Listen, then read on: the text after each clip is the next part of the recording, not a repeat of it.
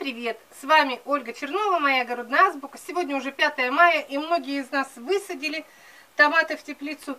И уже начали поступать вопросы, как бороться с фитофторой. И вот я хочу снять вот это видео как предупреждение, предупреждающее, о том, что не нужно ждать каких-то сроков, чтобы бороться с фитофторой. Нужно начинать уже сейчас.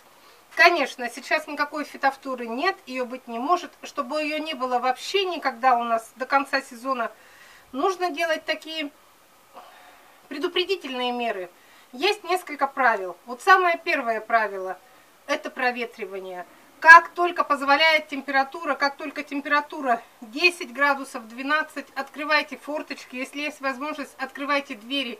Открывайте двери обе, и эту, и ту, чтобы у нас был сквозняк. Чтобы у нас был сквозняк, чтобы у нас было проветривание. Проветривание – иногда решить может все проблемы. Не будет конденсата, не будет сырости. Все. Второе правило.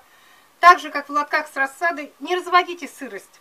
Не нужно чрезмерно, ежедневно, через день поливать. Полив один раз в неделю, обильный.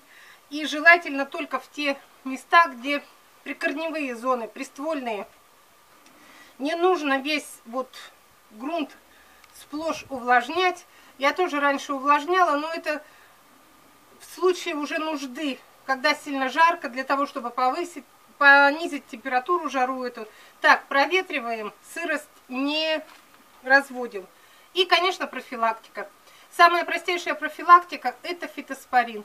Вот уже при высадке рассады, когда вы только начинаете высаживать, первый полив может быть с фитоспорином, и это уже будет первое профилактическое ваше действие против фитофторы.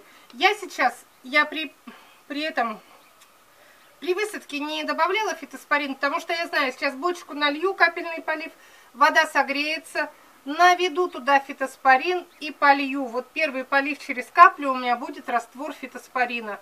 Я уже буду знать, что я начала профилактику. Я проветриваю, я сырость не развожу, полила один раз и буду поливать только через неделю. И сделаю профилактический полив фитоспорином.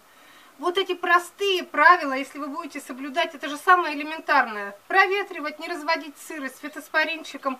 Если хотите еще более себя обезопасить от фитофторы, есть простые народные средства. Опрыскивание чесночное. Оно иногда приравнивается к воздействию вот всяких этих магазинных химикатов, вот этих, как фунгицидов. Если кого-то заинтересует, я потом могу вам подробно рассказать, как делать опрыскивание. Очень просто.